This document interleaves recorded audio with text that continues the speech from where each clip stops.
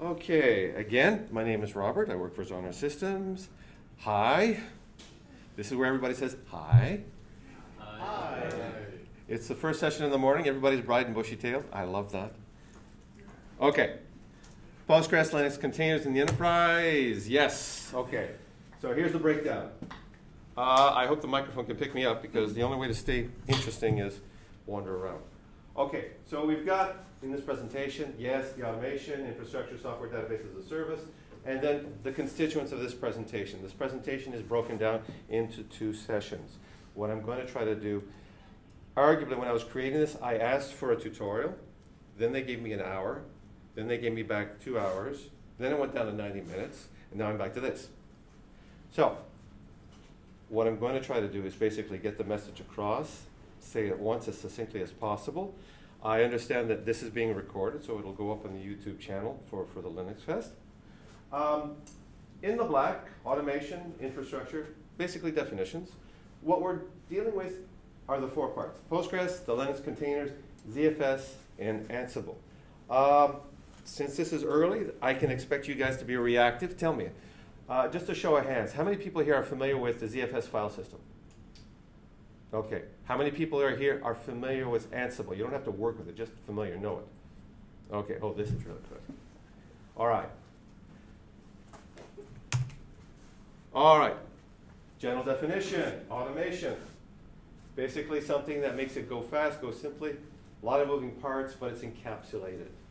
Simpler instructions. Here's our definitions. Infrastructure as a service, software as a service, database as a service. The idea of simplifying things. Now, once upon a time, the idea of a service was actually third party.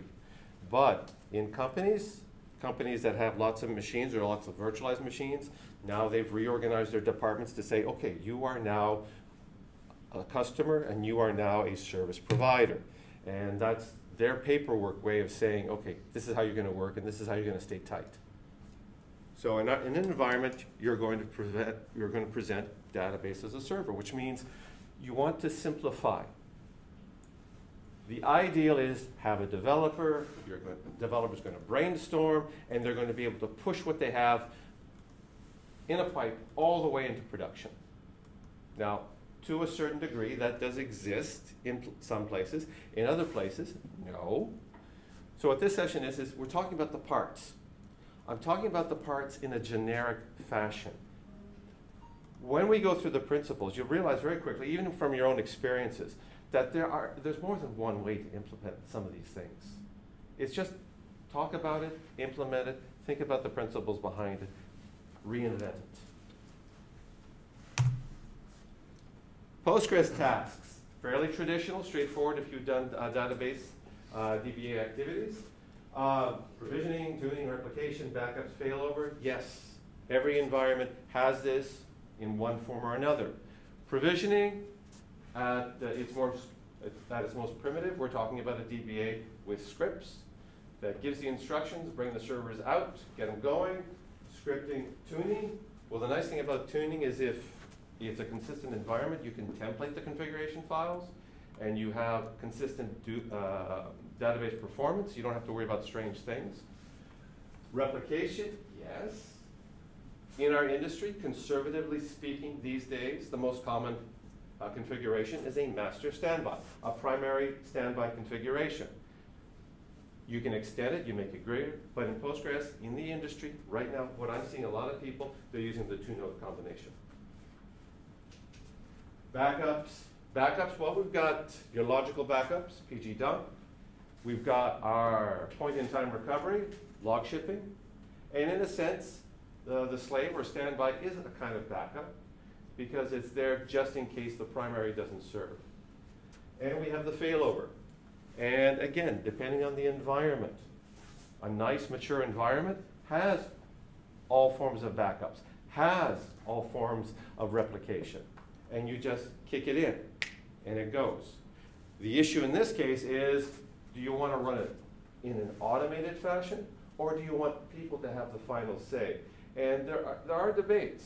I, I see operational managers, um, or whatever they're called these days, they, they would like to see something automated. But the problem is, is that they also have the experience of screw-ups, of the systems not giving the correct metrics, that they may not do the right thing. And if you flip the switch, well, it's not just the database. The database is easy.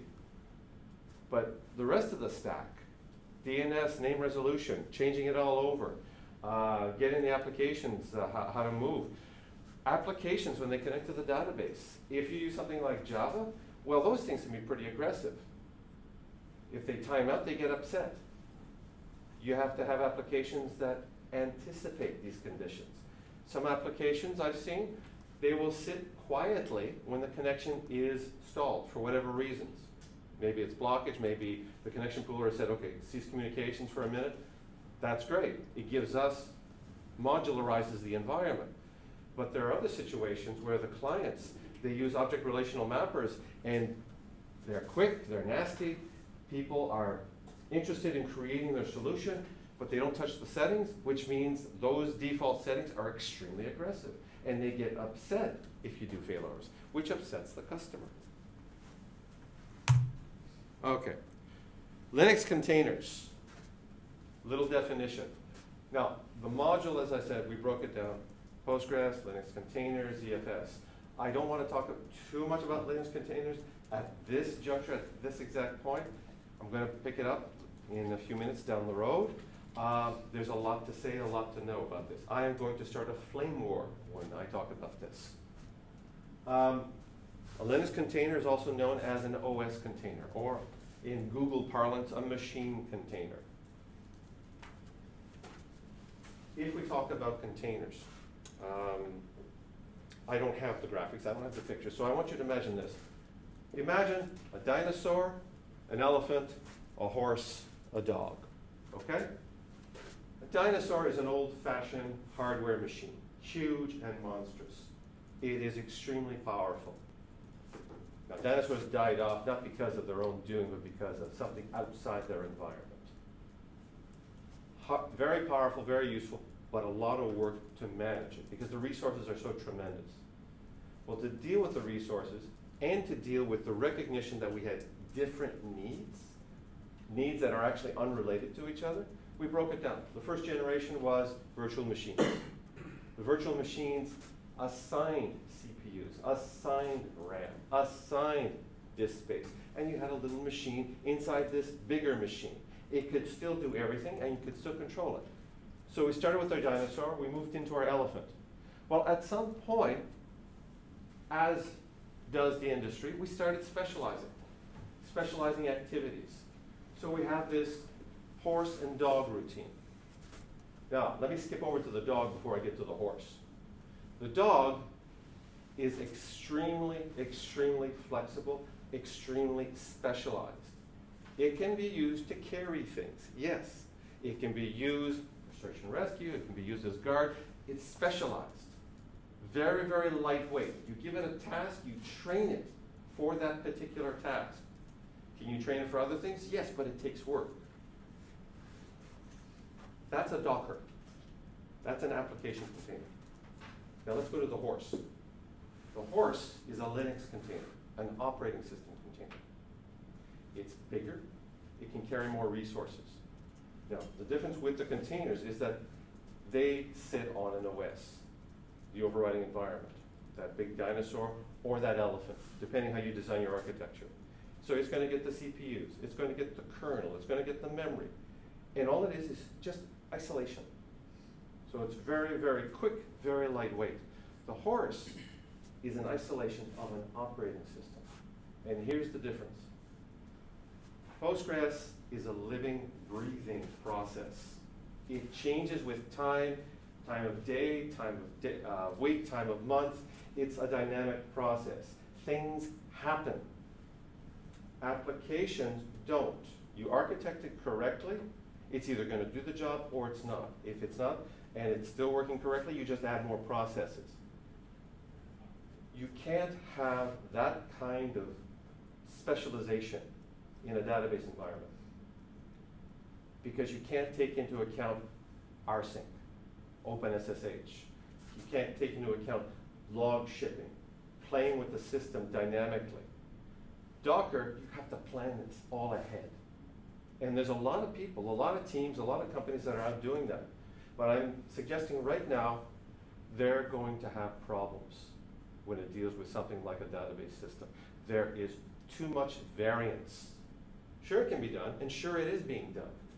But I, I stay away from that. I don't, I, I'm saying right now for the record, Docker and Postgres do not work together. If you see the environment, you make a little cross, you step away, you take some holy water, sprinkle it on you, and you run. Yes? Is that because you're not growing up layers of space? Or Docker has its own work. Docker was designed for application developers. That means the mindset to develop a, a database system is in the mindset of a developer. They are going to spend half their work administrating the database and half their work developing the environment for the database. If something breaks, well, they're going to work with what they know. That means the environment. They'll work on fixing the environment. An operating system container is a traditional environment. It's somebody who works in that environment, whether it's, it's, it's the rough big machine or whether it's a VM, it's all familiar. All the protocols, all the processes, they're the same. If there's a problem, you work with the problem. In Docker, you need to frame the environment before you can work on the, on, on the problem. The problem isn't that you can't solve it. The problem is resources. How much time do you work on the environment? How much time do you work on the database? And that's specialization. And you're talking about mind share. You're talking about the knowledge of a person. And if it's one thing I've learned in my career as a Postgres DBA, really playing with the, with the database, that's specialized knowledge. To really get good with Postgres, you play with it. You enjoy doing it. Developers who cut their teeth and are damn good developers, they have enough to make the system work. They have enough to scale the system to a point. They don't have the time to go into the innards and guts of a database system. There's going to be problems. Your dinosaur, your elephant, your horse, your dog. They're all different. They can all, to a certain degree, be used to do the same thing. But the smaller the resources, the more activity and more design time you need to do the one thing. Docker is a great solution in an application context, not in a database service context. I, I disagree with other people who are, who are of the opinion contrary. I don't agree with it, and time will bear me out. Okay, that's my flame war. All right, ZFS. ZFS made its name over the years on Solaris, on the BSD. And of all the kinds of conferences that you can go to, open source, Linux Fest, this is where you're going to most likely run into people who actually know FreeBSD. ZFS is really, really good. Just tell Netflix. And Netflix will say, yeah, because that's how they run their system. All right, let's have a uh, reiteration. A file system designed for super large storage. It's not a network storage, it's a single device storage. It has ability against data corruption, automatic repair, which means it's got the switches, the funny little features inside that can check some blocks of data to make sure that it doesn't, uh, doesn't change over time. And if anything needs to be checked, it's a database and with consistency. Support for high storage capacities, efficient data compression. ZFS, properly tuned, you actually get higher performance because the I.O. is less when the database reads from the file. This is a real interesting capability. Imagine an environment. You have a system, two terabytes. It's a development machine. Well, you can create your development machine. You can spend all this time, but you're going to have developers come in and break things. That's what a development machine is all about. But you want to give them the time of creating a good quality data set. On a ZFS system, you create a snapshot. It freezes it. That's the change, that's the system. It only takes a second. Two terabytes, a second. 20 terabytes, if that existed, a second. It's the nature of the file system because what it records is not the copy of the data, it records from the time of creation the changes on the original copy, on the master. That's all it does. It just records it. So if you've got a huge data uh, repository, that's great because that's the only file, that's the only consumption of the file system. So it, it, it, it has so much potential, so much potential. And we'll go into the system, we'll rehash it. Again, it, what's nice about this group is because of your ZFS familiarization, it helps just to get things jogging. There are things that are probably you've done that I haven't done with this. Native NFS, that's kind of cool. Access control limits. Again, very cool, very nice. The creation of the file systems, once you have the pool defined, it's very, very versatile. And it's what I like, it's self-documented. You write the commands and you'll see what's going on. Again, all these modules, all these ideas in the presentation that I have in mind, it, we're going to break it down, we're going to review it again. All right, so this environment, this presentation, this is my workstation. I used a, an old 1404 Ubuntu version, or actually I used Kubuntu on my workstation. And my workstation is a machine that I constructed in 2009. And every so often I swap out parts, change the hard drive, jump up the RAM, switch the keyboard. Technology is nice because the OS advances and it still works.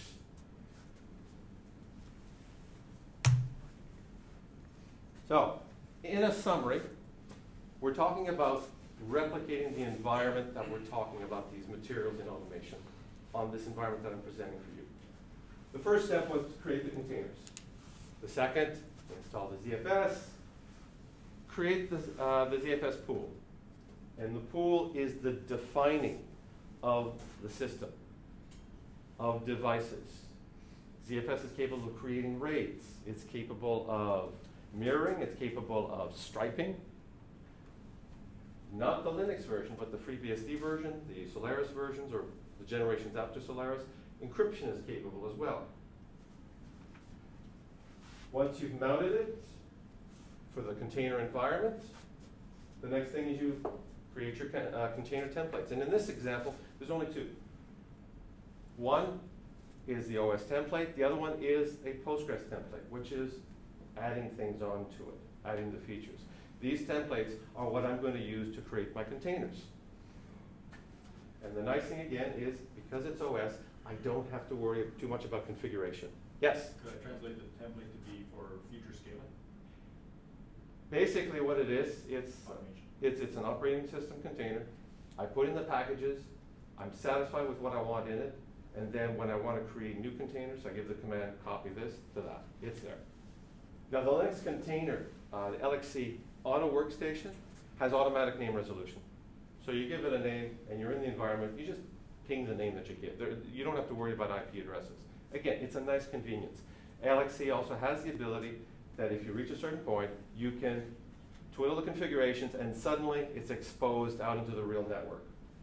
So at its simplest implementation, you put this on a super big machine and you reconfigure so that it, uh, it gets uh, its IP resolution from uh, a proper network, and this thing's now accessible.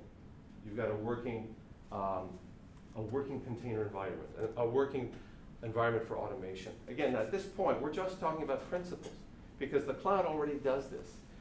They have their own secret sauce, they have their own way of doing things, but it's along the lines. Okay, the last container is Ansible. Now, I've got another session tomorrow in the afternoon that's going to go into detail from A to Z on Ansible. Depending on how well I talked this morning, I may or may not do the same coverage. I'm certainly going to do the overview on, on the Ansible. Now the Ansible, just to, to rehash, it's the ability to push instructions out. It's a simple way of pushing the same instructions to different containers. It's even got a little programming language where you can decide depending on the variables that it gets fed. And it does it over SSH, which is really, really nice because SSH is the most common uh, medium that we use to log into our machines.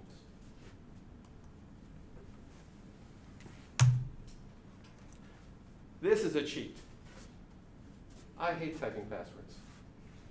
So I just go into my environment, I went to visudo and I just said, okay, grant permissions, no passwords. Again, it's, it's a cheat, and it's for convenience, it's for development purposes. Um, just to give you context about the reality of developing in a very small environment, back in 2009, I prototyped a two data center, six node system that was implemented eventually between Seattle and Atlanta. It ran the back end of T-Mobile. I ran it and I developed this on a $1,500 laptop. The code essentially was created and tested, and then I just pushed it out. So don't underestimate what you can do on these machines. All right, that's the end of my first of four modules, my automation. Questions at this point? Yes? So do you think that's why Docker introduced LinuxKit at the DockerCon? So that you can create the lean operating systems using Docker?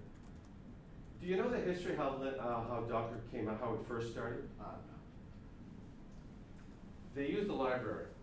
Docker was built on Linux containers. Then when they saw the success, part of their business plan was to continue. They, they continued streamlining the container, the, the, the technology, and they wrote their own main library. Instead of using the, the LXC, the Linux container libraries, they forked it. They created their own implementation. The biggest difference, this, in, in one phrase, the biggest difference between Docker and Linux containers is there's no network stack.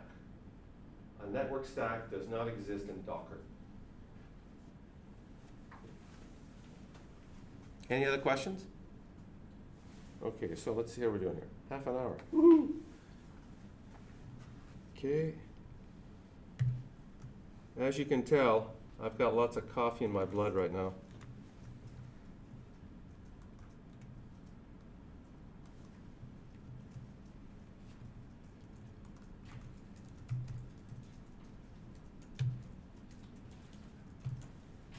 Okay, next part. Now, in this presentation, you saw the steps, and it was swinging back and forth between Linux containers, ZFS, then finally to Ansible. For the purposes of just talking about the technology, I'm just trying to stick to one at a time. So for now, it's just Linux containers. If something's done in another context, we just sort of slide over it.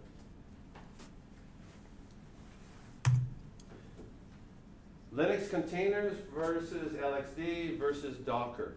Uh, a lot of the initial issues uh, that, that, that I presented have been done. Does anybody here, give me a show of hands. LXD, who has heard of it? LXD. Okay, who has ever heard of the word serendipity? Raise your hand. Okay, here's what happened. Once upon a time, Ubuntu, Canonical, created LXC, Linux containers. And Docker saw it and said, ooh, this is cool. And they took off. It got so successful, and Linux containers continued with evolution. People started coming back to Canonical and saying, hey, how come you don't have an orchestration mechanism just for the Linux container? And they went, Duh, hadn't thought of it. LXD is an orchestration environment. It came up after LXC had been created, after Docker took LXC and went with it and took it to where it's going right now. So it is a parallel environment, except it deals specifically with containers. Um, Kubernetes is a very, very dominating culture right now um, with orchestration, controlling, manipulating containers. But it specializes with the Docker implementation. They don't have Linux containers, unless you wander over to Canonical's website, and then they talk about their implementation of Kubernetes, which does deal with Linux containers. So choosing one or the other is going to be depending on where you sit. If it's a question of money and not willing to pay, you may want to go with Kubernetes with Docker. It's a great choice for application development. But once you start looking at the back end, or in, in, in, the, in the context of a house, if the house is an IT stack, the database system is the basement, the foundation. It is unsexy, it is plain. It's the last thing people need, but it's the first thing they have to have. If you're going to do automation, if you're going to do containers, you have to take that into consideration. Because the team isn't going to be the same. It's not going to be the same people as opposed to those who are developing the solutions. Now, OS machines versus application containers. OS machines, it's that's sort of Google terminology. They like calling things by uh, by calling them uh, um, machine containers, and it's basically a, an operating system container, and it has to do with businessy. Um, the largest implementation is actually through Linux containers, Ubuntu canonical stuff on the internet. Google uses it, but it doesn't say canonical. It doesn't say Ubuntu. It just says machine containers, which is fair. We don't care. We have a problem. It has a means of solving the problem. We don't care how they do it. Right now, I'm talking from the point of view if you're creating something from the ground up, or if you're trying to understand what's going on out there.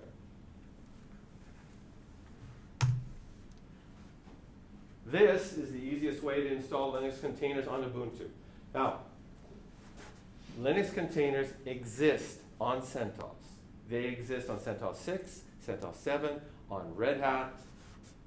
However, the best implementation with the best OS configurations, options, availability, distributions is the Ubuntu system, and partly because it's the most mature. But you can literally install Linux containers on any of the major OS right now. This demonstration is working with the Ubuntu implementation. So in this case, it's just install LXC. That's it. Everything else will get installed. Um, on the bottom, security, root versus unprivileged user.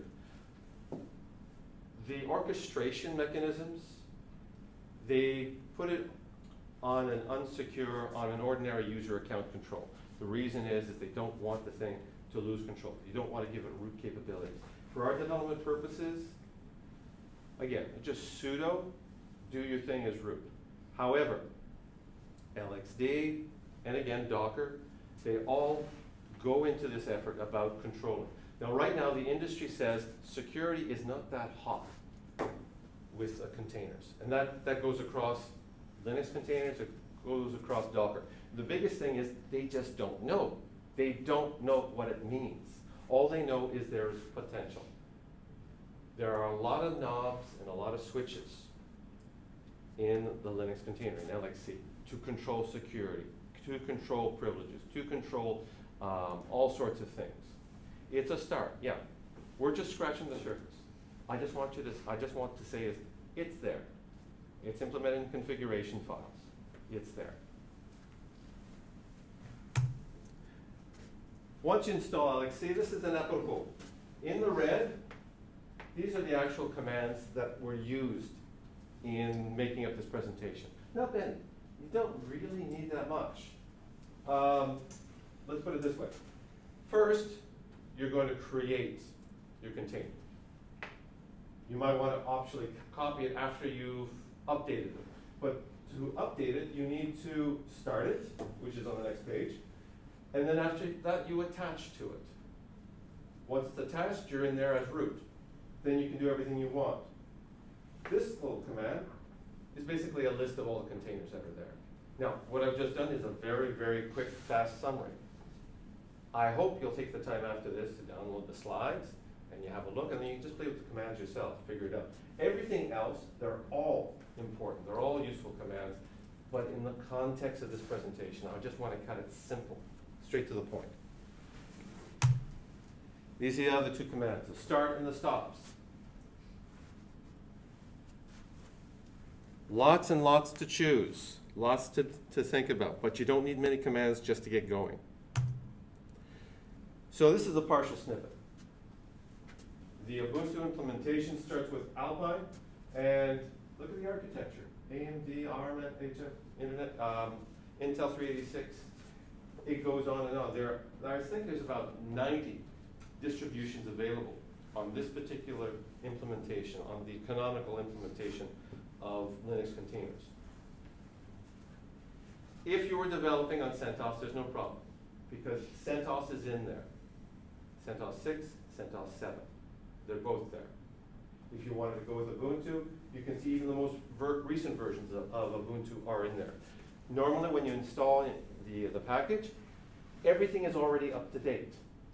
It's, uh, you'll see a timestamp when they were created. Their farm generates it and updates the libraries automatically. There's even an implementation of Oracle. The Oracle OS is in here too. So it, there's a lot, of, a lot of choices.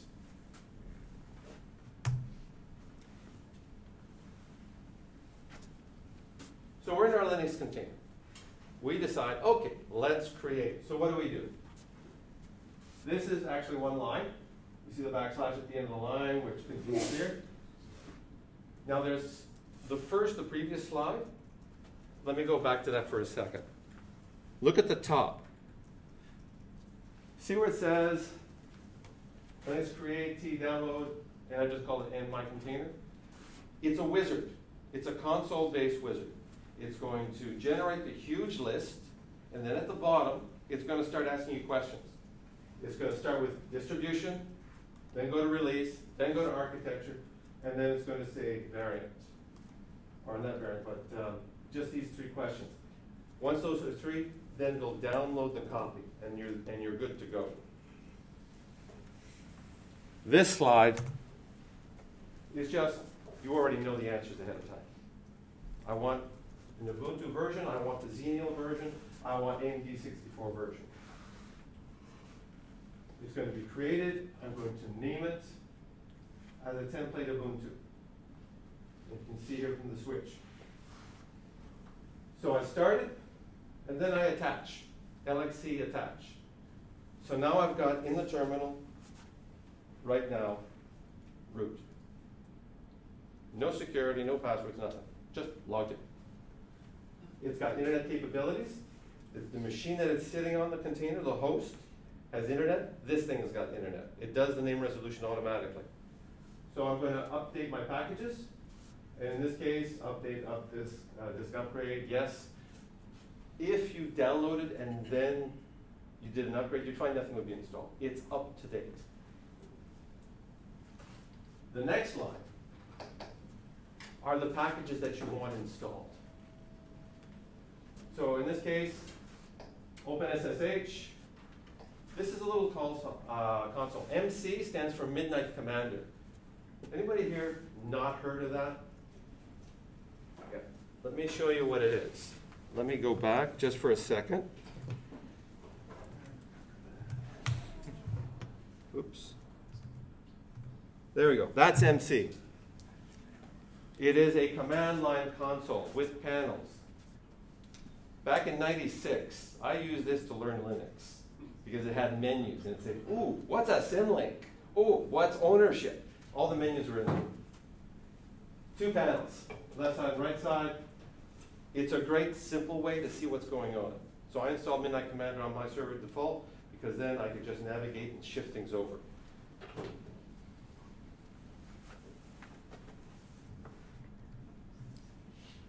Other packages.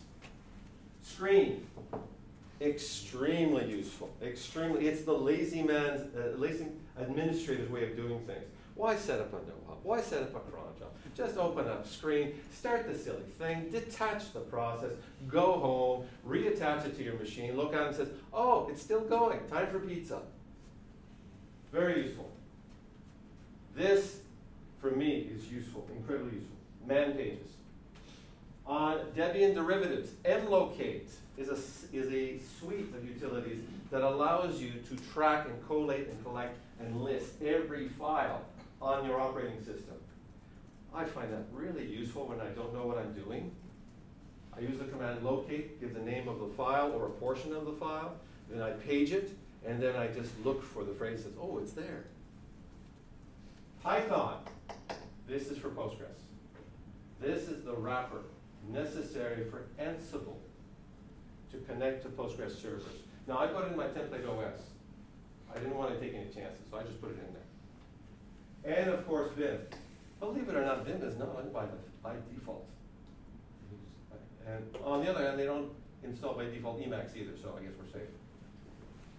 Um, once it's all installed, man DB, update DB, These are the commands to look, update the man pages. Again, you want to know what's going on. The man pages are wonderful. A little common sense on updating the passwords. All Ubuntu implementations, they create an account called Ubuntu, and I just make sure that, okay, let's make sure the password is simple, very simple. No, don't type it Ubuntu, you know, type something actually intelligent, but for demonstration purposes, this solves the point. Uh, I'm done. I exit, Control D, or type exit, whatever. I'm back now in the host control. Now I stop it. LXC stop, template Ubuntu. Now I'm going to copy it, which is a simple copy. LXC dash copy, little n template Ubuntu, big N Ansible, and I also create my template for Postgres. I created them separately because of division of packages. I just don't like the idea of putting too much of the same packages on systems. That's how systems get hacked. That's how you lose control by being too generic. Okay. So, what am I going to put in, in my template? For Postgres, I'm going to use 9.6. Has anybody ever tried to administrate Postgres using CentOS? Just raise your hand, I want to know. Okay. All right, for everybody else, it's miserable. Okay? It's miserable. CentOS 6 is an incredibly stable operating system. It's being supplanted by version 7, yes, but it's still useful. It's still incredibly, incredibly important. However, the default repository has a version of Postgres that hasn't been used in four years. It Drives me nuts. It, it, it's the stability conundrum. You want a stable environment, you don't change things. So you have to add packages. Now, the Fedora packaging system, they do have versions of Postgres, a little more up to date, and you, you can add the repository. In this case, we're ignoring all of that. All Linux distributions are all configured and prepared on the Postgres website. Every package path, every package implementation is already there. All you need to know is just how to navigate through the pages.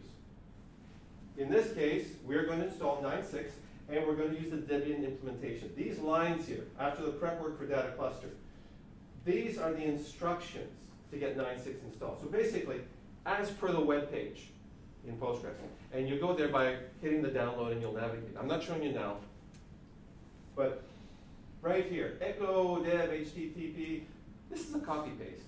I just paste, copy it straight from their web page, put it in my console, and what it's going to do is it's going to add a new package, the Postgres package. Then I'm going to use wget, and that's the certificate key. That makes certain that at least I'm not going to have any problems getting a new version. Now here's a thing that I want you to keep in mind. I do this for real. I am really lucky. I am the dungeon master of my environment. I answer to nobody. But in your environment, you may have a policy of only having a repository that you are allowed to get your stuff. You have sysadmins that go in, they collect their packages, they put it in one repository, and that's where you're going to get your packages. This is something you have to show them. This is something you have to have a conversation. Because if you're going to have up-to-date stuff, they're going to have to pull it, and you're going to have to show them how to do it. Once it's done, update, update, update the repository. Now I've got my 9.6. And if you've ever gone to the Postgres website, it's not just Postgres. There's like 20 or 30 different packages there available. Everything from PG Bouncer, the connection pooling, to Barman, which is a utility used for um, uh, enterprise level capabilities of getting point-in-time replication and restoration across servers. This presentation is automation. Automation is about lots and lots of containers. Take advantage of those things. Look at the stuff. There's ways of reading the package information. All sorts of cool things. Okay, so after that we install. In here I've installed what I need for uh, Postgres. The install Postgres 9.6, Postgres repack, PG Bouncer, rsync. Okay, little talk. Raise the hands again. Who does not know what a repack is? Does not know. Okay. Repack is a utility that came out a few years back. There is a problem with Postgres. Multi-version concurrency control is the ability to see snapshots while the records are being updated, inserted, deleted, without conflicting with other sessions. However, that means the database system is going to mark tuples as dead. We have something called auto vacuum that goes in and cleans it up. There are edge cases, however. That auto vacuum is not perfect. There are going to be spaces in the files that are archived, that become what are our tables, our indexes, that cannot be reclaimed, can't be reformatted. There are various reasons for different conditions. Older versions of Postgres are worse than newer versions for different reasons. PG Repack is the response to this. It is a utility that allows you to rebuild the tables and the indexes in the background while the system is under load. I have seen recoveries of 300 gigs of databases using PG Repack because nobody knew that this kind of thing existed. Repack is good also because it allows you to move things. I've got a server. It's almost at the limit of its hard drive. Right now, we've got a mixed environment, partially VM, partly real machine.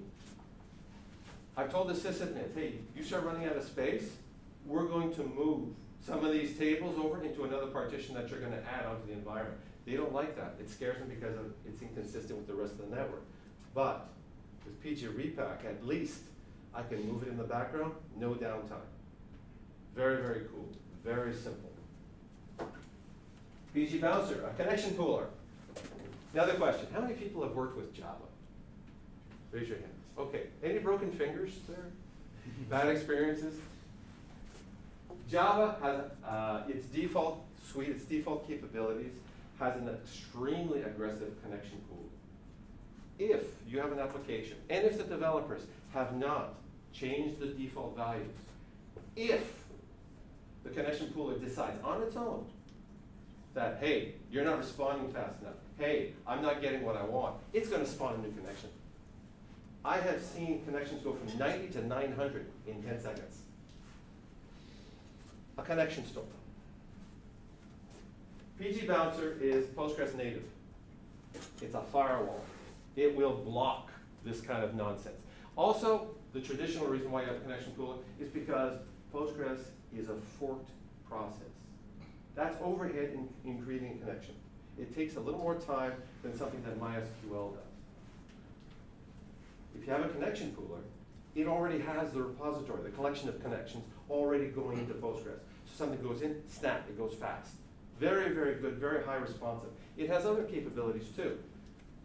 You want security? I can alias the user account and the database. Application will use a certain name, a certain uh, database, even a certain password. We can translate it right in that configuration file, and it'll go somewhere else. Now, apart from security, that's really good for load balancing. There was this one case where we had 90% reads on an environment and 10% writes. I set up a three system node. I said, okay, two of the three are going to be read only. So I said, okay, let's adjust your user account, uh, your database. Database read write, database read only. Automatically hit the connection pooler, no change in source code, it's just a configuration file, and bang, it went. It went to the correct place. Your own little poor man's uh, load balancer. So PG Bouncer doesn't replace the connection pooler? It is a connection pooler in its own right, Oh, but it has additional advantages. The essence of connection pooling is to make connecting faster, to make it more reliable, to manage resources. You can, with a proper connection pool, if you have OLTP connections, for example, instead of having a thousand connections configured for your Postgres, you can make do with 50. Why? Because these connection sessions open up and they close really fast. That kind of decision making, though, is up to you because you're going to have to watch. You're going to have to actually learn on your own. Okay, is there any case where these connections are going to last and they're going to pile up? Do I need more connections? Because uh, PG Bounce, for example, it'll politely refuse new connectors. It has all sorts of options. For example, it has the ability to have a reserve pool. And that reserve pool, you can have it configured to say, just hold on the connections, don't do anything. So new connections come in, connections go in. If your application is polite, it'll sit there. It'll wait until the connection pooler says, okay, now we can use you, now we can access the database. Lots of opportunity, lots of opportunities. It's, it's more than just a connection pooler. It's a gatekeeper. That's why I use this, that's why I use repack. rsync. rsync is a cover thy ass approach, okay? Postgres has stream replication. Technically, it can stream the data over to a target server for slaves. Well, you know what? Shit happens. Firewalls change. Servers go to another direction. rsync is my back, my backstop. It's a just in case. I need to copy some files dynamically, automatically. I'll use that mechanism. Now, I've seen some environments that use SCP because they're very secure. Well, SCP has an interesting property. 16 megabytes, you know how many writes it takes? 1,000. 1,000 individual writes to load up a 16 megabyte. That's, that's the protocol. It's not meant to be high performant. It's meant to be secure. It's meant to be stable. Oh dear. Okay, so let me get back here, my password.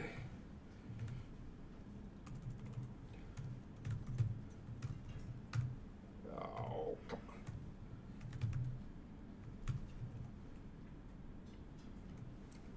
on. I gotta use simpler passwords. There we go. Okay. All right. So what I've done so far is I've just described to you the justification and arguments for installing packages. It's nice to talk about these things.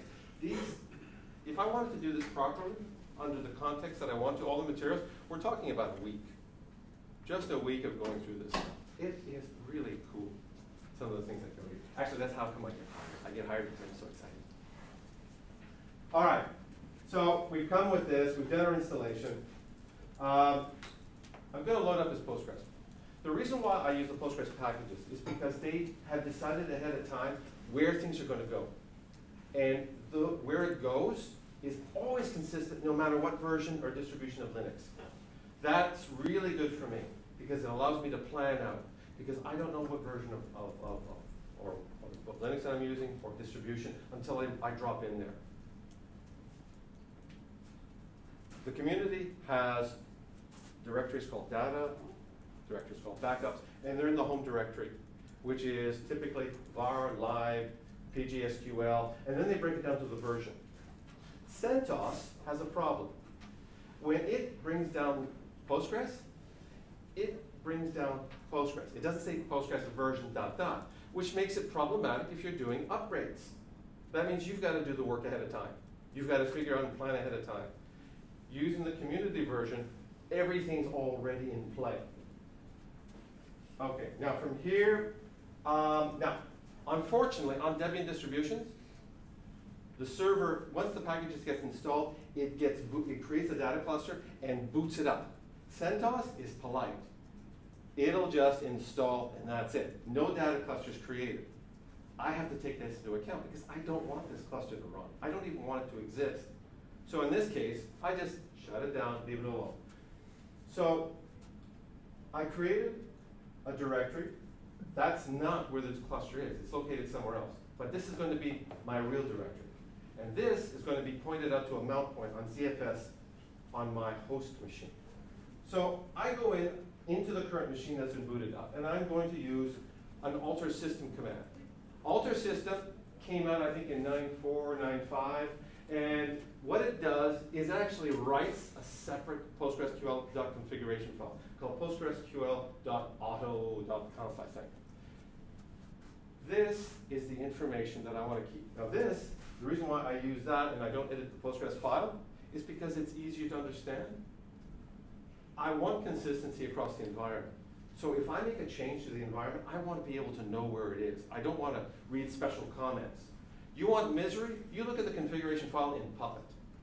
That is hell, especially when somebody else creates it. So in this case, I said, okay, set the server to port 1096. That means when the system restarts, it's going to come up. The Debian implementation, the Ubuntu implementation, if it sees a data cluster existing and it's creating a new one, and it sees that it's port 5432, it'll come up with another number. It'll increment 5433, which is what I don't want. That's why I'm changing the number.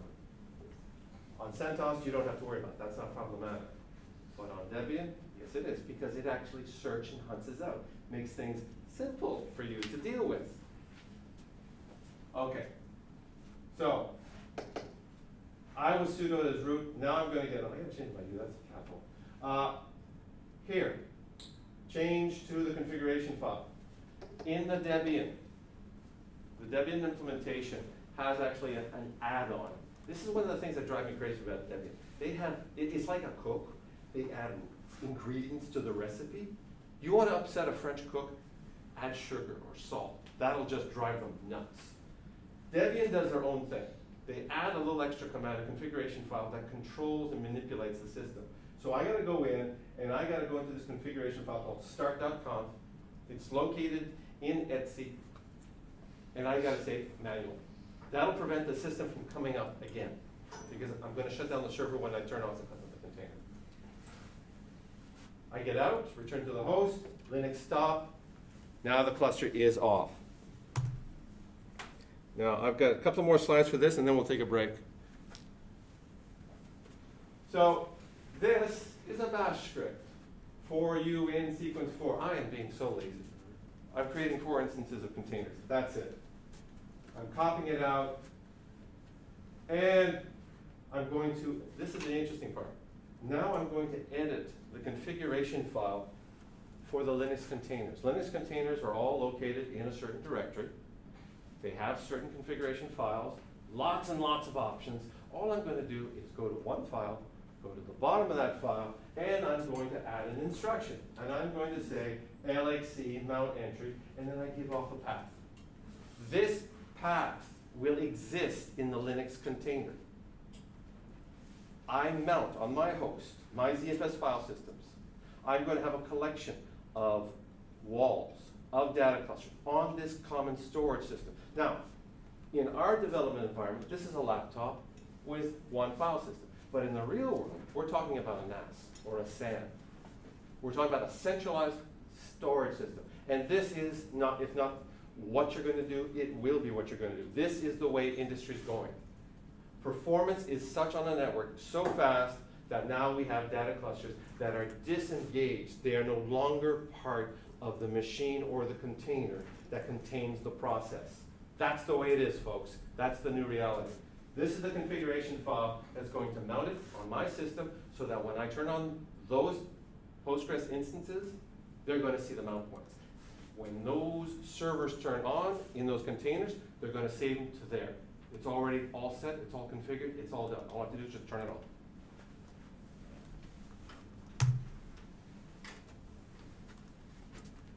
This is about Ansible. Up till now, all I've done is set the environment. But Postgres is a dynamic environment. It's a creature, it's a dragon. It lays eggs, it eats gold, it flies, it gobbles up people. Ansible will take care of the configuration after it's up and running. You're going to have environments that are going to be different. You lose your consistency. Why? Because that's the way it is. Machines act different. So you need to have something to deal with it. Ansible will do that. We create our, our container, we add our packages. In this case, Debian, I needed not only Ansible, but I also needed something for sshpass. It needs that consistency. It needs that little extra mechanism because Ansible can take your password and automatically propagate your activities right against it, which is kind of sweet. But it asks for sshpass to do that. I go into Ubuntu, I'm going to sudo, I'm going to generate my keys. Now, when I do the Ansible presentation part, I've actually got an Ansible script that generates the keys on its own. This is a cover thy ass approach. There are two ways to enter a container. One is by password, one is by key. I use the public key because you know what? When I go on vacation and I come back, sometimes the silly password's changed. At least I have a guarantee of logging into the system and fixing the machine. So I use the utility here, in this case, SSH copy ID, which is a standard OpenSSH uh, utility for copying your public key. Questions? Okay. Take a break. I've been running a mile a minute here. It is now uh, nine, ten thirty-five or whatever. Say what? Uh, ten minutes? Fifteen minutes? Come back. Uh, come back at quarter two. All right. which avoids the auto curation, which in turn avoids auto start, obviously. There's more than one way to skin it down. Yeah. But that that avoids having it start up, which can be, and then shutting it down, which can be problematic. You know, when I was creating this, I was trying to figure out, okay, there's so many ways to saying this. What, what's gonna be my guiding principle on making a decision? And part of it is the fewest steps as possible. Part of it. And sometimes, uh, I miss something, which is really common. Yeah. I, I, I've, I've done it that way too. Uh, the what the shutdown way. It's yeah. Um, I, my de- my development machine at home uses ZFS, uh, uh, but Post I don't have Postgres containerized, so I don't feel the need to for myself. But it does mean that um, to install it to the right place, I had to do a shutdown, move, move, uh, move the files, start up sequence, and I'm not, I'm not sure it's any uh, simpler doing that, having done both that way a few times. I'm not sure it's any more complicated either. It's, there's more than one way to Yeah. skin a cat. Yeah. I actually have some interesting results on ZFS compression um, uh, and uh, record size on- on my bits. ZFS is almost what Postgres was like a few years earlier. Um, It's possible, yes. What time are you starting up again? They want to know when they want to start recording. I would say at about a quarter to two. I've asked everybody to come back by then. Okay, okay.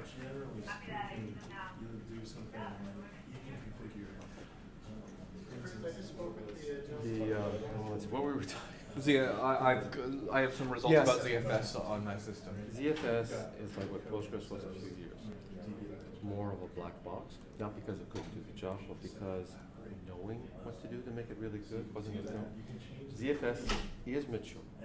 Certainly on the BSD context, it's mature. Yeah. There are ways, I've got a friend of mine, he's a contractor, and he's got a ten terabyte system, his own setup that he deals for, mine. for analytics. And because of the size of RAM, he has found that if he limits the shared buffer to one gig for Postgres and throws all the resources of RAM to ZFS, he gets faster performance. So here- here- he, he minimizes the tuning on Postgres. Well, the general advice has been to limit Postgres shared buffers to not more than a certain size. Under traditional conditions, we've looked at between four and eight gigs. Um, because of. O- Only on recent versions, it used to be mm, uh, on say 9.3 or I think it, I can't. It used to be generally don't go over a, a gig or two.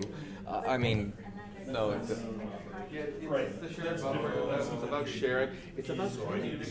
Linux copies the memory. It's, it- it's redundancy, it's double redundancies. There's inefficiencies there. Yes, and that is one, actually one of the big problems with. Um, I, I've run Z, ZFS on FreeBSD and ZFS on Linux, and one of the big problems I find with ZFS on li- Linux is actually around the memory stuff.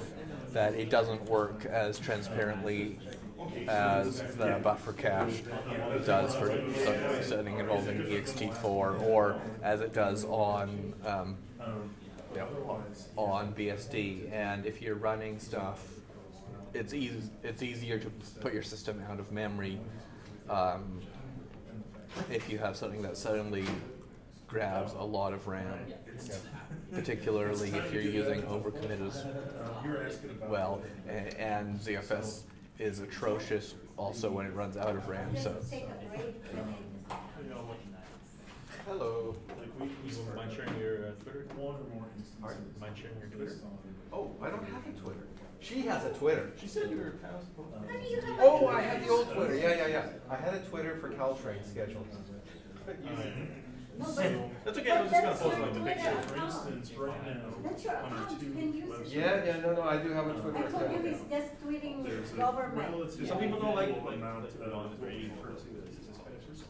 No, well, it's It's the- not really it's about that. It's just that I don't do it as much as Cache there's load of the entire application. It's a bad way to get in touch with you, And there are basically. settings that Oh, we MC to that when it We're old. launches.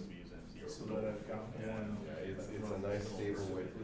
the dial. I find, find Midnight Commander really useful because it helps conceptualize things in your head. when you I know never it. use it, but. Um, And Not in part of our configuration allows us to. Oh, yeah, it's, Okay. it, it's useful, it's useful. Oh, I don't use it, I don't use it as much, but sometimes when I'm switching back and forth between, Trying to forget bridge instances, like when you tag multiple files, it's kind of. Yeah. I- It's really good. Kind of like the application for stuff. and then- Yeah, I when I was looking at it, I found very little on uh, tuning So- ZFS and tuning Postgres for, uh, for, for that different applic, for Postgres those. on ZFS. There's not, there wasn't much information. I think the problem is more Yeah. traditional Uh, than anything so- else. The okay, people that so we've know, got an are ELB too damn busy. That's in front of two EC2. Yeah, um, So each of I agree with that. running an. I wrote, uh, The lookout is running an Apache web server. Still one of the blog posts I actually use for myself. And then we're using the Apache mod FCGI server to run the Rails application, right? Um, each, each configuration, so like the configuration I have for Dire. Yeah, I looked at LZ4 uh, and um, 8K versus 128K records for both um, for both data and for Xlog, Yeah. um, which is a combination of eight of a number of settings. Uh, which um, you know, LZ4, um, a. And the workload was it osm2pgsql, which does a lot of copy and then right, and so, um. so copying, inserting, and I don't- some you know, I don't understand simple the- fetching, and then to- a giant To put to those gin. different ones, but they can, yeah, they can. they As can in, pull up. it takes So, 20 hours to there build are- index. There is some, like, oh. well, you It's a know, 200 gig index. and they- they- some of those kind of How big is your settings database? Or that, well, if it's an index, then you're terrible, then you're, Each, it's not a functional index, right?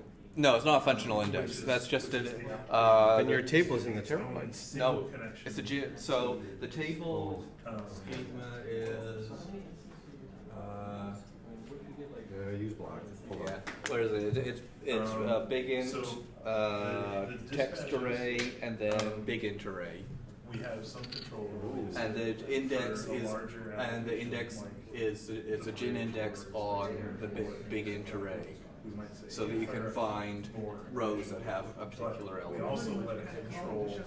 The table is um, about more hundred instances if it decides that- gigs. The index is about two hundred gigs. Not so much. One. Yeah, that sounds like you've got a puzzle on your hands. Um, and as that is, is that is that's the most space efficient way to do it. I've never heard of, ki- of the index being bigger than the table. Coming close to the size of the table, yes. I, ha, but have you used genetic indexes? Is the question. Not as much, not as much. You're, you're talking about GIS, you're talking about free space form, you're talking about a different way of indexing. there. I mean, so That dispatch might take. well, in rough numbers, there are 300 million rows, and the total total total number of both array entries and distinct array entries is three You billion. can keep loading up however many of those. So it has to index as three billion. Well, if the performance is good, you can't have success. The performance is adequate. It uh, it's held for cache contention uh, for obvious reasons. Then it sounds like what you're gonna have to do is you're break it up, partition it, so you can run multiple queries at the same, parallel logic queries. It's still going to be held for cache contention though. Because You because gotta puzzle, you gotta puzzle. oh no, but we have works. So I mean, it is generally the best approach. Which it doesn't mean it's a good approach, but Is the envi, is it stable or are you always changing around? um, Three different things. There is always change on it. It's not, but the change is a small percentage of the total table size. So it's not saying you need to re-index frequently. Um, Gin indexes do, t- however, tend to bloat up pretty badly. Uh, I mean, if you, there's also a, a primary key on it, which is just a, on the table, which is just a B tree. If you measure the bloat as current size versus size if you were to re-index, gin indexes bloat faster than uh, gist or B tree indexes. I And a 15 hour or 20 hour rebuild is a disincentive to um, re-indexing. Yeah. Uh, now, to be fair, on the that's on a hard drive. That's on my home machine. On, on the machine I've been doing testing with, which uses a terabyte of NVMe, it is Yeah. closer to a two-hour index rebuild. On what is the fastest, or what was two years ago, the fastest machine possible. Not for the task that you could buy with any amount of money. It really doesn't around how long something takes. as long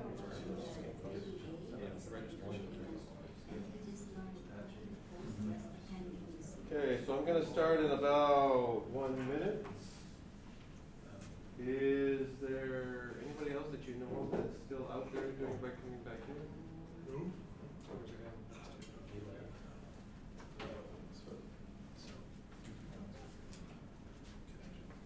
Did you expose it that You as a could, container? you could spark. Are you No, I, I, all- all I, when I started preparing this presentation, I started out with the Ubuntu CentOS six, CentOS seven, and then I said to myself, I'm making a lot of work for myself. And then that one can have the static connections. So if I use the, I use CentOS as an office, So we can- and I we put we Linux can on kind of- it. So if I, I grab the pack, Postgres packages from Postgres, Yeah. they still use the right, the directories? Yeah. It's, it's the same thing. version Right. it? The, the, the, Now, we the have- procedure and the char- and the behavior is gonna be a little different, but essentially, it's gonna go in the same place, the same way, to the same directories. That caused Commands will be a little different. But we've seen. Uh, on the other hand, um, most recent version of Ubuntu, uh, I'm sixteen right now, on, on some of my machines, it uses system D. Unexpectedly. And, you know, systemd works, and Well, we'll argue about that later. Yeah. How did you The latest the Docker and systemd on Just CentOS. one. There is a, you guys, okay, on Sunday. All right, uh, I'm ready to start. If I may ask, Oh, when you're running. has everybody here gone through the first part here? Is there anybody new to part two? You're new to part two? Halfway through part one. Okay. All right, so to recap, this is a two-session talk. We went through session one. Session one was an overview on automation, and we talked about the big pieces. And the big pieces is sort of like a proof of concept, talking about the principles involved. So we said automation, what is it, da, da, da, da. And we are going to demonstrate automation in using Postgres, containers, Ansible, and ZFS. Now, I went through it, I went through a little bit of flame war, talking about Docker versus Linux containers. I was very excited and motivated when I talked about that. Nobody dared to contradict me, which is really cool. And we covered in detail Linux containers, and we talked about how to install it, and we're now going to go into the ZFS. Now, we talked a little bit about Postgres and installing it in the context. Now, that's one of the ironies about this presentation. I am talking about, this is a Postgres track, this is a Postgres talk, but we're hardly talking about the configuration. We're hardly talking about turn on this, turn on that. It's about, oh, by the way, you said the configuration, and you turn it on, that, that kind of stuff. Give me shit. I'll accept it. I have a psychiatrist. Okay, this next part, Open ZFS. ZFS on Linux. Once upon a time, there was a great evil monster called Lord Oracle. Lord Oracle acquired things. It acquired a little place called Solaris. Solaris was made up of wonderful little people, but they got swallowed up by Lord Oracle. Some of the people left, they created their own projects. In the final days of Sun, they created a file system called the ZFS. They had various connotations, zettabyte file system, and then they had arguments as to what it really means. However, before the end of Sun, the BSD community, FreeBSD, started on a project undergoing, let's parallelize, let's create an equivalent. And they removed all the licensing restrictions. Now Sun, in, to their credit, they, they made it as easy as possible. And when they left, when it shut down, when it migrated over to Oracle, there were groups, teams. One of them reproduced next generation of Solaris. Another was next generation ZFS. Now Oracle acquired both per se. They acquired MySQL per se. They acquired Java. Again, Lord Oracle. So, OpenZFS was a result of many events. It is a consortium, and it is based on the descendants of the Solaris Sun experience. They have a very viable uh, operating system. They have, uh, there's actually companies as part of the OpenZFS group based in San Francisco that are uh, service providers, data centers. And some of them have Postgres and they work on ZFS, and those things are fast. They match anything out there in the industry. They've tuned it really, really good. Now, what they said was, all right, we want ZFS to continue, so they created the consortium. Consortium included representation from BSD and Linux, ZFS on Linux, which started a few years ago. It does not have the same capabilities as, uh, say, the ZFS that Oracle has, or the mature version, or the version that BSD has. But what it does have is good, is stable, it's not going to go anywhere. Oh, this thing went out again, okay. So let me get my password back in.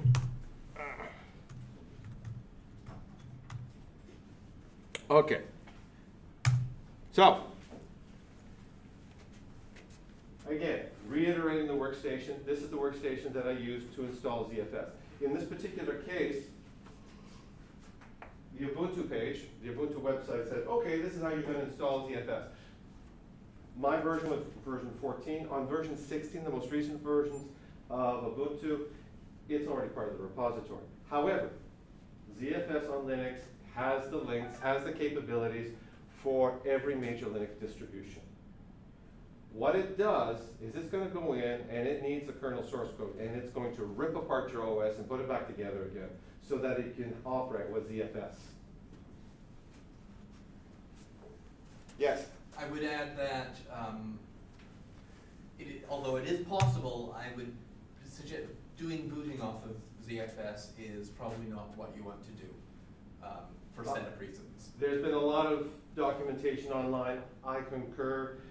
If you want to use it for real, don't complicate your life. Just install the silly thing. Use it for your data. Okay. Again, as per beforehand, when you install ZFS, I type out apropos ZFS, or the Canadian insists ZFS. Do you know how hard it is for me to switch between Z and Z? I was taught Z by nuns. That's an experience you do not forget. Okay, so we have the various commands. Highlighted in red are really essential commands. This is not a session about tearing apart a Telegram. There are going to be ZFS experts out there who really, really know much, much more than I do. ZFS is part of the, the file system. zpool is what you're starting with. A pool is an aggregation collection of devices. Devices can be hard drives, or they could be file systems that you created with DD. What it does is it sets the rule. zpool is the first. It says, okay, These are the characteristics. I'm going to set up a RAID. I'm going to set up multiple systems that are going to mirror. I'm going to set up multiple systems that are going to strike. I'm going to set up uh, uh, all sorts of essential characteristics on one level. The ZFS does a whole bunch of stuff. Not only does it create the file system, it sets access control limits. It also says we can set, change the properties. And those properties, like there's, what, 40 different properties right now in the Linux implementation. Robert? Yes. Sorry, were you, is Ubuntu using, uh, OpenZFS or, um, ZFS on Linux? OpenZFS is the parent hierarchical organization. Is it used on BSD? ZFS on Linux is the actual project that ZFS is installing on, on, on all Linux derivatives, no matter what distribution it is. Is it separate, always separate by, uh, blobs? It's it, the separation is by organization. OpenZFS are doing the most advances in the changes in advancing the, the operating system and the file system. They have a policy. Anybody who comes up with a good idea, we will merge it and then everybody gets it. It doesn't matter what architecture it is. It, it can be on the uh, Solaris Descendants, it can be on the BSDs, it can be even Oracle, or it can be on the Linux. Everybody benefits. That's what the ZFS, OpenZFS does. ZFS on Linux is the project that just concerns with making ZFS fly on Linux. Yes? What do you think the path is to getting all this baked into the distros? So I don't have to compile it? Uh, There are, th- that's, that's rather complicated. The only way to not get it uh, compiled in is to have a pre-made distribution. Here's the problem.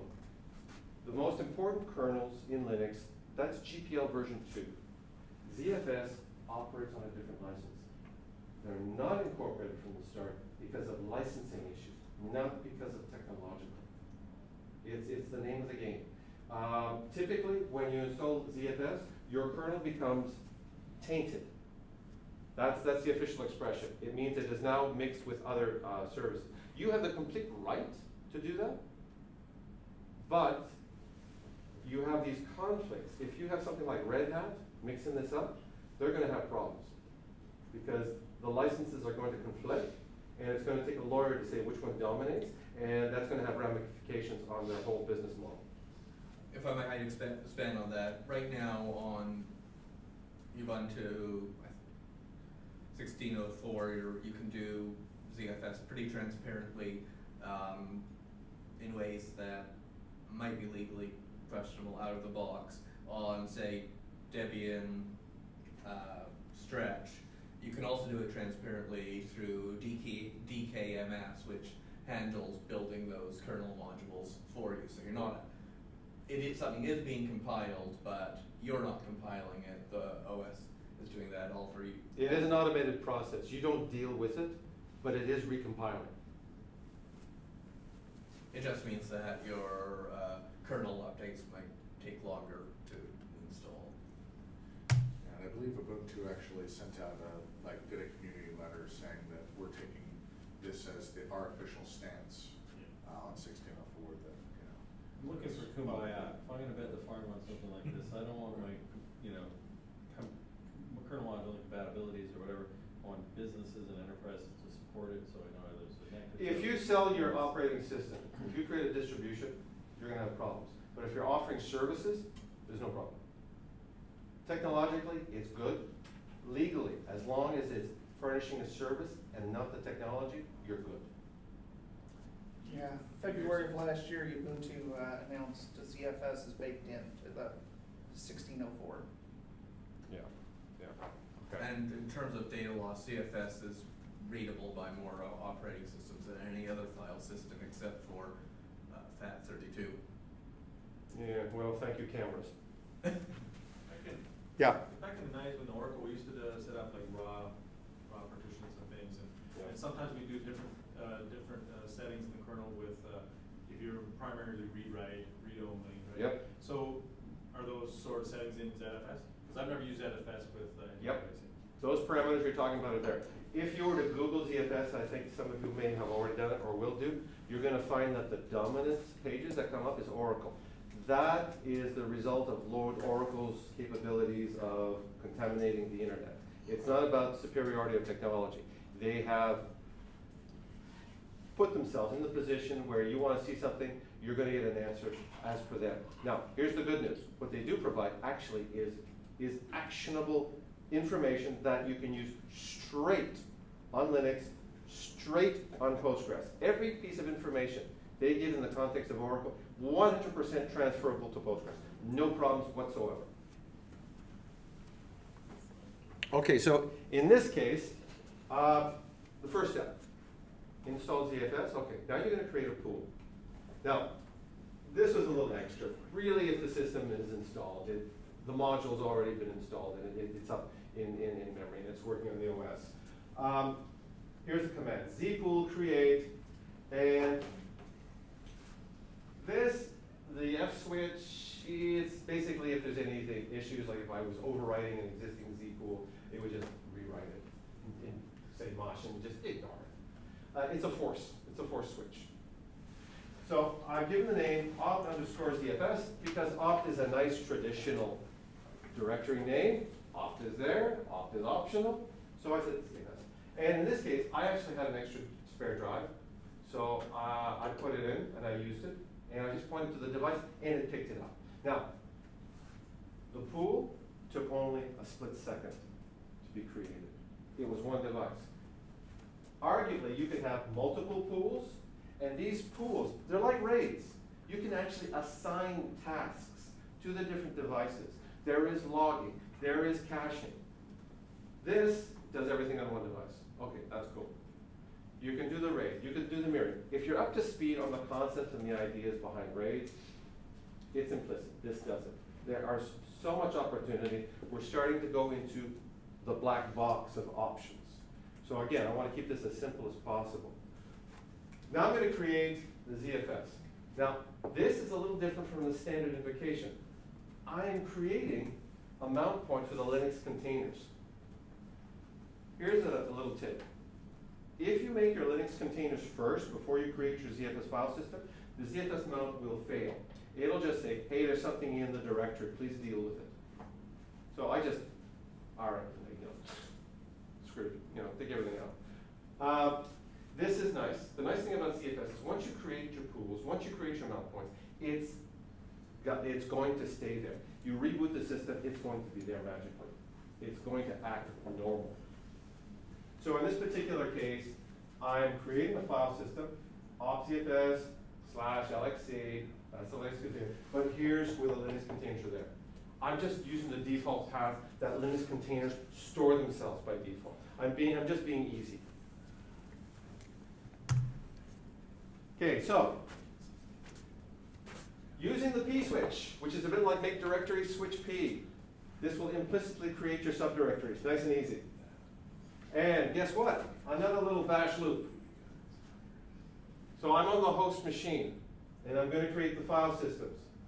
And I'm, create, I'm creating two things. One, I'm creating the backup. Now, this demonstration doesn't necessarily use everything, especially when I go into Ansible, but this is the expectation.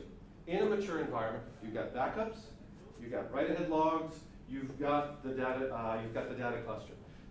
One other thing that we do or do not do is we don't take advantage of all the other switches and capabilities of Postgres. Postgres can split up things. We're not doing that. We're just doing the basics. This is the basic basic. Are write-ahead logs not version dependent? Pardon? Are write-ahead logs not version dependent? Wouldn't you put them inside the nine point six folder? Write-ahead logs? Yeah. Oh, I, I could leave the, the, the data clusters there, but if I'm going to carry on, see with the demonstration, say, okay, backup recovery, replication, that kind of stuff, uh, point in time recovery, I always use the WALs. Um, I actually have these fights with people um, when they want to use stream replication. I don't trust the environment. I've seen the environment break, so I always have a backdoor. My backdoor is to have write-ahead logs generating simultaneously. The only reason it doesn't happen is if there's ordinary, real scheduling reasons, I can't do it, there's no space, or there's political reasons. But, barring all that, I cover my ass. I have the write-ahead logs because things happen. I'll give you an advantage, uh, no, uh, uh, an example. You have a data center. You've got a company that comes in, they're gonna set you up, they're gonna set up a cloud presence, okay? Well, their DBA, he knows things, okay. He sets up stream replication. Well, here's the problem. What happens when the data center interrupts between the data center and the cloud? Maybe it's for a few minutes, maybe it's gonna be for a couple of days. Can it happen? Hell yes. Will it happen? Maybe not. But if he's confident with stream replication and he doesn't have WAL archive, he's fucked. I'm sorry, maybe I shouldn't use that, but um, he can't, he's going to have problems. Let's assume something else. Now, a reasonable data cluster size right now on commodity machines is between two and five terabytes. So that means if you have a data center, you're talking about a collection of machines. How many have you got? 5, 10, 20, 30, 40, 50, 60? 60 times 5? You're going to reload that much up back to the cloud? Oh, Google will be so happy. WALs. That'll cover you. Yes? I think the question was more why is the WAL path not involving the version, whereas the data path is?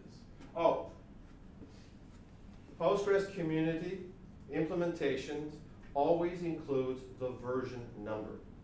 When they create a directory, they say home directory slash version of Postgres slash data. That's their decision. I'm following the convention.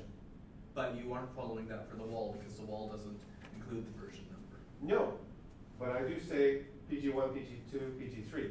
The reason is, is what if you have upgrades? What if you have failovers? So do you want the version number, whereas you don't have it right now? It's, again, it's, it's, there's more than one way to skin a cat. I had thought about it when I was creating this, and I said, okay, let's keep it straightforward, let's keep it simple. The biggest advantage about this is that we know by association that it's related to the data cluster. In a mature environment, when you're mixing and you don't want to contaminate WALs, sure, you might want to consider that. At this point, I follow the convention. The convention says when Postgres is installed, it creates a path with the version number. So I follow that convention, and I'm consistent when I use the file system. So when you go, when you sudo into a container, it's going to say home directory slash 9.6 slash data. That's the way it writes. If you put in another binary, if it goes, uh, if you install 9.5, it's going to say home directory slash 9.5. Just for this point of view, just for this, it's good. Also, in the real world, you're going to have mixed environments. It's very constructive if you have more than one way to figure out what version of Postgres you've got. And having it on the directory path is, is useful because you're going to be there for one reason or another. And you're going to see, oh, it's this. It just helps if you've got more than one way to answer a question. And having this written out follows the convention as the Postgres community creates and it's self-documentation. Yes, uh, for, for the data directory, yes, but why don't you have it for the WAL? Because I didn't bother. Okay. There you go. All right. Okay, okay. Thanks. Anyways, while we're looking at the screen, before the screensaver comes on, take a look at the numbers. Okay, on the left, file system name. On the right, mounted on. So obviously you can you can navigate it using command line or any utility that you want. You can SCP or SFTP, and depending on permissions, you'll get in. That's one thing. Next, look at the size. You notice how every file system is the same size? In this case, 217 gigabytes. That's because I didn't install access control limits. By default, every file system, which is distinct, has access to the same resources on the file system, has the same permission on the file system. And by the way, in the context of containers, that's the same way too. Default installation of a container has access of all the RAM, all the CPU of the host environment until you decide otherwise. Which is kind of nice because that means if you have batch loads, Well, all right, it gets to use it, and the other ones, will- they're okay, they don't mind. You don't have to figure out the logic. That's part of the reason why VMs are not as, as exciting now as containers are, because they locked in the environment. You made some assumptions, you had to calculate that. In the used, you will see that the numbers vary. That's the isolation. The file systems are isolated. Okay, here's another way of reinterpreting it. This is using the command ZFS list. In this case, it's just listing the file system itself. ZFS is capable of full manipulation. What we saw on the previous screen was list, just ls, and we see everything. Same information.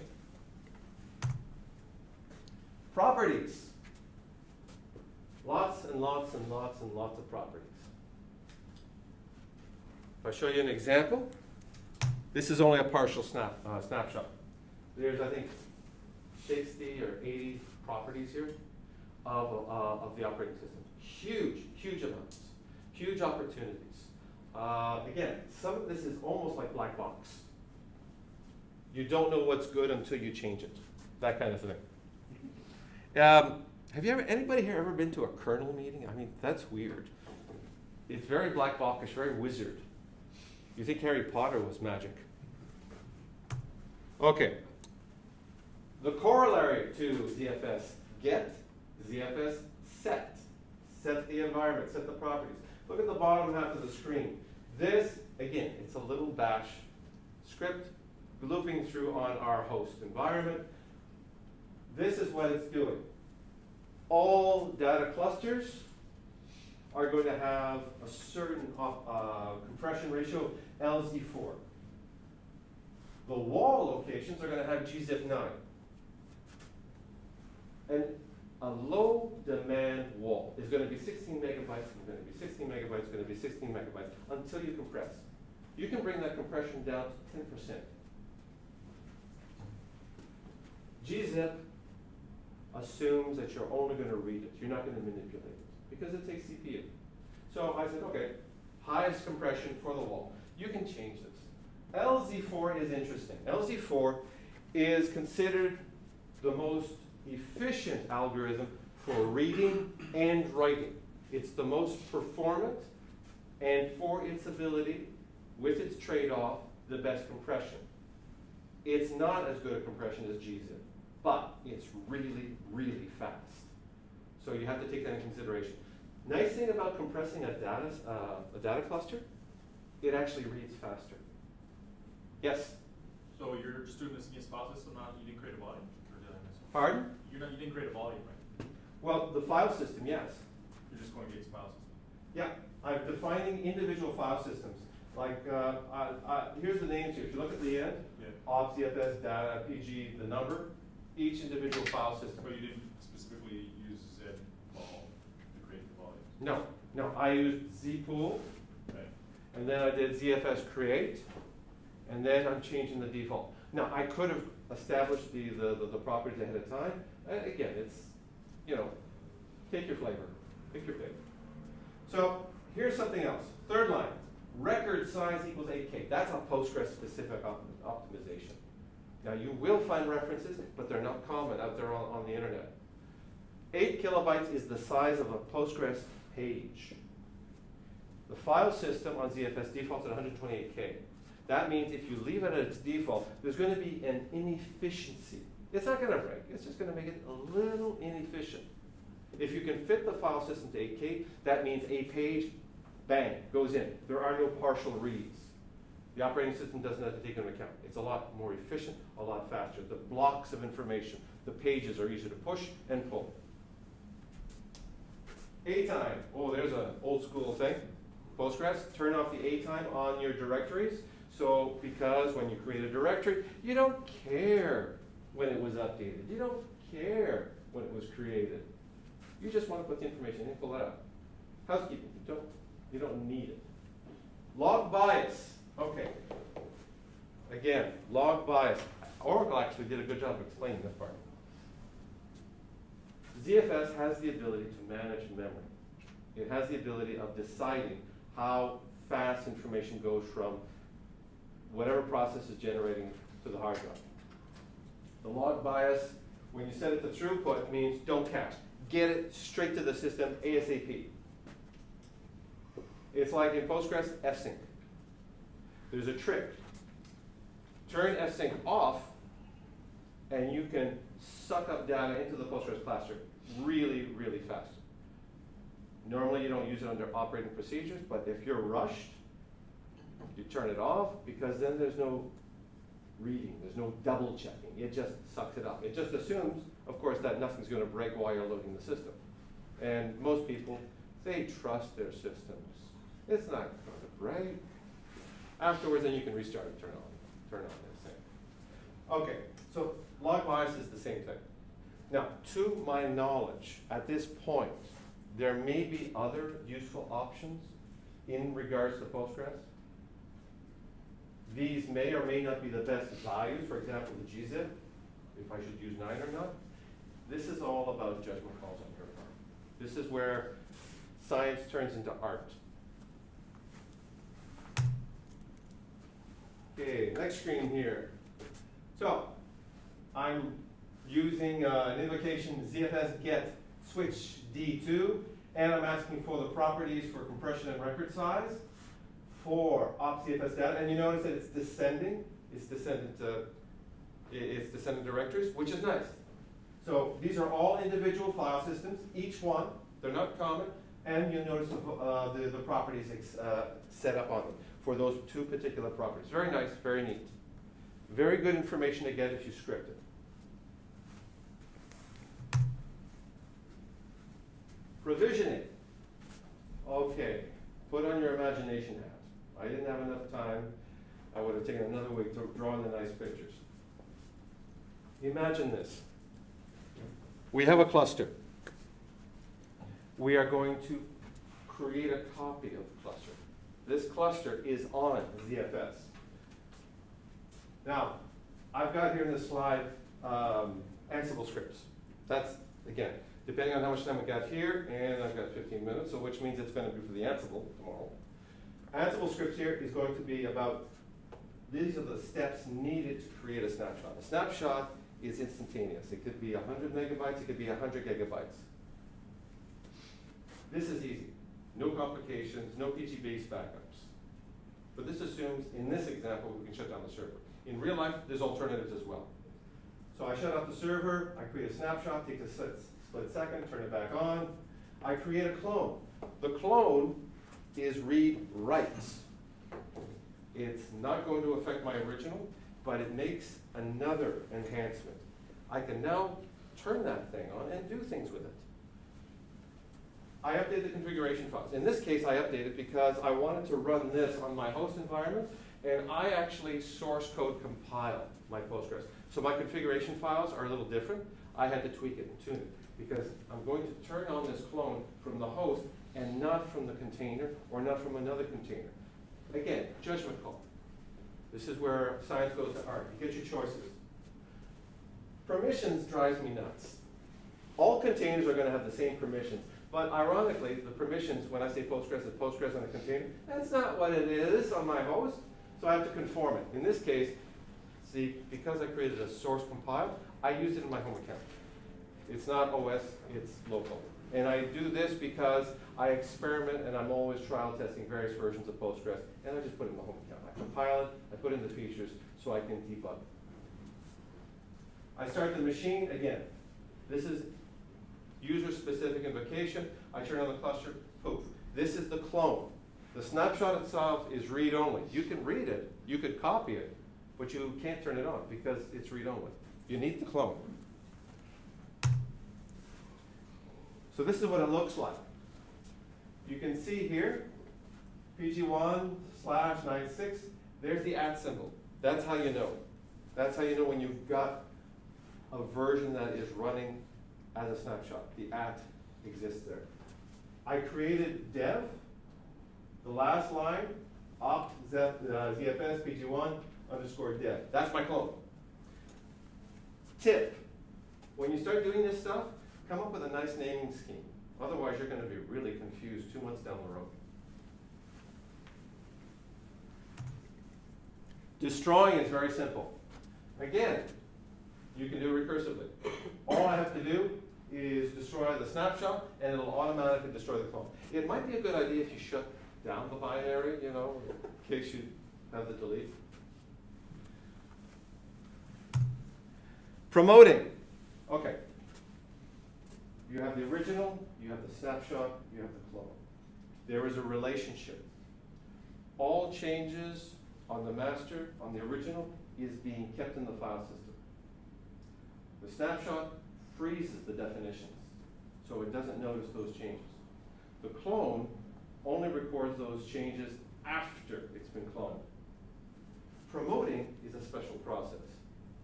You've created a clone.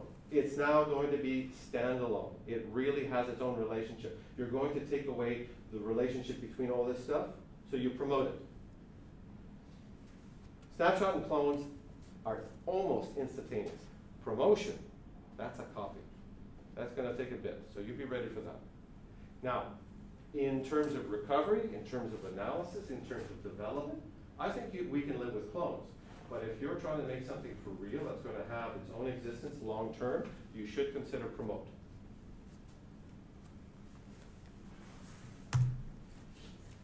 Here's the algorithm for cloning a slave. Again, really, really simple.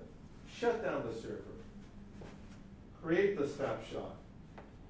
Uh, I've added some extra uh, variables here on my, uh, my Ansible.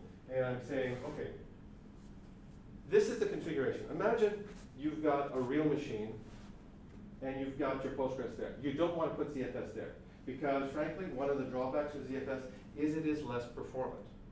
The question that you should ask is, do I want it because it's less performant or do I want it because it will do good enough? If you can answer yes to that second question, then you should use it on your master machine and your primary machines. If the performance is not up to snuff, if it can't read write as fast, say ext4 or Linux Volume Manager, or you haven't got the mastery of ZFS yet, or you're starting out, then the safe thing is you have your master and you have a slave on ZFS because that's read write, that's read only.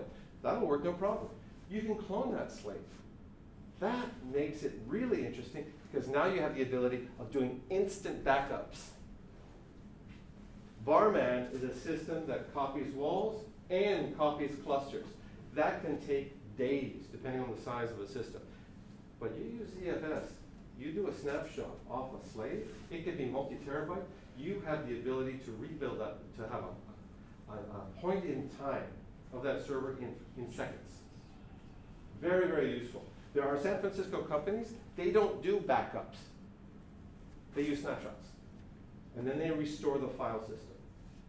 And they don't do point-in-time recovery, they snapshot every five minutes. And then they have a, a, a process that will purge the older snapshots. So, efficient or inefficient? Again, this is going to be a judgment call.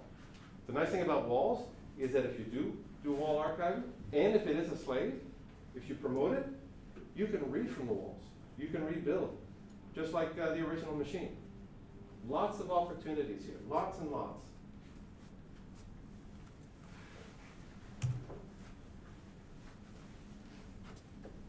So this is just a simple definition, a simple demonstration.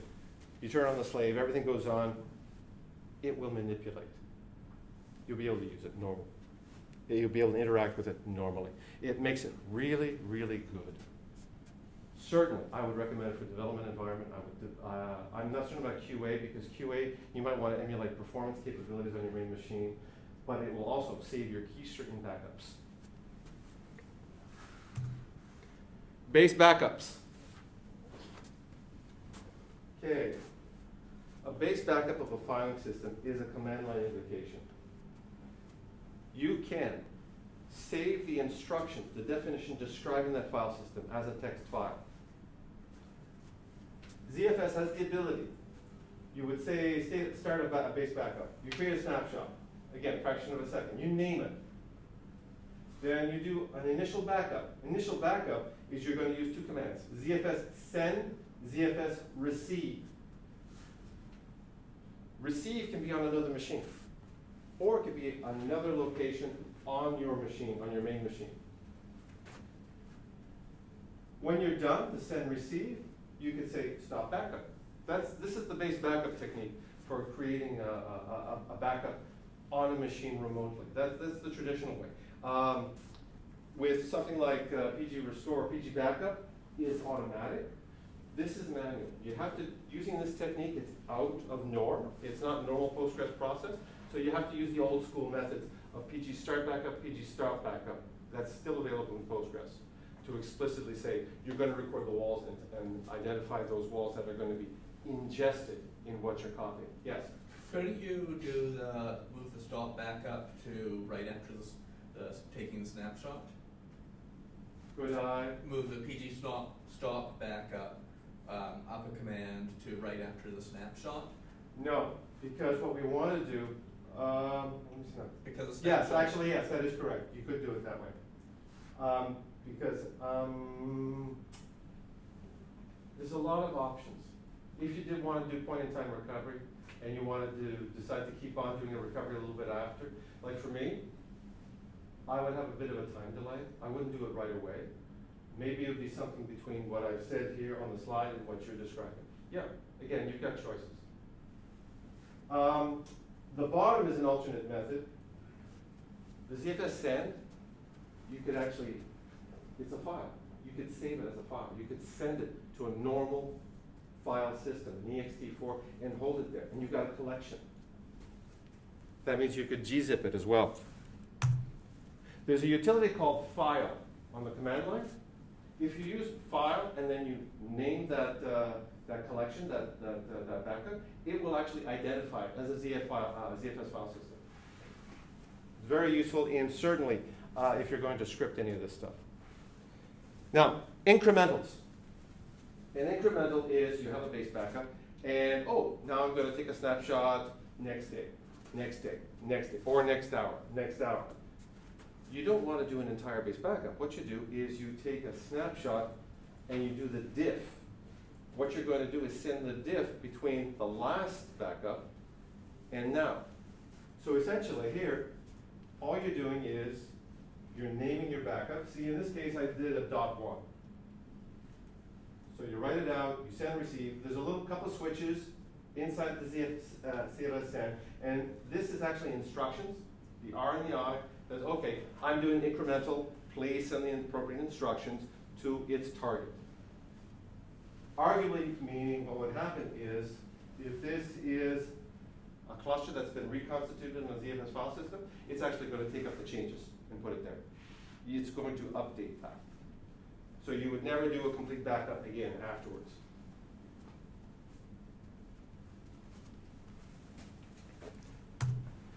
And that is it. It is now eleven thirty. The one module that I've got left is Ansible, which will be tomorrow. And I'll go into detail, tearing it apart and going into it. Questions on this wonderful marathon? Yes, the one from the person who likes drinking. Like what? Uh, uh, uh, you wouldn't put on, inside your container. It seems a little overkill? Uh, no, I didn't put it inside the container. The default permissions in Linux container actually discourages use. You'd have to tweak the configuration to, to do it. Um, so rather than take the time of tweaking it, I said, all right, let's just keep things simple. Go to the host. You can emulate, if you were emulating an environment, that might be a good way of doing it, but you have to use the configuration files. There's something that, uh, a container in a container, there's actually a configuration on the containers that allow you to create subcontainers, which means you could emulate ZFS on the file system or subnetworks and emulate, you know, two key points on your system. So yeah, you, you get really monstrous complicated. Yes? I have a second question. The, uh, um, orchestrating, um, containers, would you recommend using containers or or installing Postgres directly on bare metal in a, in a production environment? In production environment, I would say you would, right now, let's be conservative, start with a solid machine, but use the, um, or, say that again, use containers in, in the real environment? Orchestrate the container rather than. Oh, yeah, yeah, no, you, yeah, you could do that. I, I, I. Because it'd be really fast. I have no problems about putting a container, Linux container, in a production environment. The only caveat is You're the industry it to a caveat about security. You need to go through that exercise. But in terms of performance and stability, no problem. Okay. Other questions? All right, uh, thanks for being patient. And, uh, come on back tomorrow and see the Ansible and I'll, I'll tell you about that stuff. Okay, go off, Bill Lynch.